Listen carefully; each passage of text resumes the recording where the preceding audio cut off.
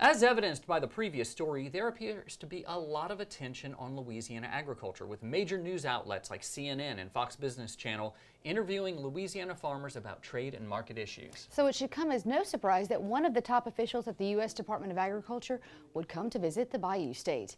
USDA Undersecretary for Farm Production and Conservation Bill Northey sat down with farmers and ranchers at the Pointe Coupee Parish USDA office.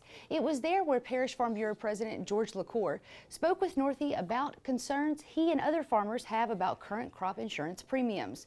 Northey served as the Secretary of Agriculture in Iowa for more than 10 years and moved up to D.C. in 2017. So he knows a thing or two about tough times farmers are facing. He says it's at sit-down meetings like this where one, he learns what his office needs to simplify coming out of the 2018 Farm Bill. The needs in Louisiana are different from even one part of Louisiana to another, let alone are they different from Maine to Michigan uh, and Louisiana. So it's important for us to be able to make sure that that we stand that up and we heard uh, make this easy to understand, get the word out to producers. We do have producers that are challenged economically right now as well. So our programs are very important.